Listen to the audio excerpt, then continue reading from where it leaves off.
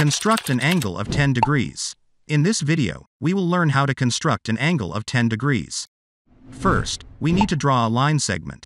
To do so, take a ruler and draw a line segment. And label the endpoints as A and B. To construct a 10 degree angle, we first need to construct a 20 degree angle. Let's construct a 20 degree angle. To do so, take a compass, adjust it to some length, and using point A as a center, draw an arc as shown. After this, without changing the length of the compass, and using this point as the center, draw the arcs on the horizontal line as shown.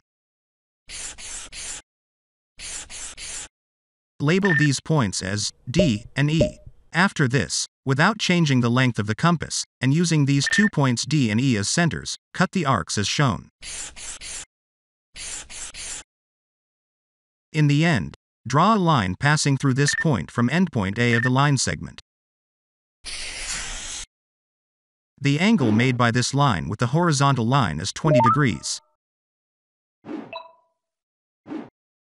After this, we know that 10 degrees is half of 20 degrees. Therefore, we need to divide this angle in half. To do so, take a compass, and use these two intersection points as centers to cut the arcs as shown. In the end, draw a line passing through this intersection point from endpoint A of the line segment. You can cross-check by using a protractor. I hope this video helped you understand how to make a 10 degree angle. If you liked my video, please click the like button and share it with others.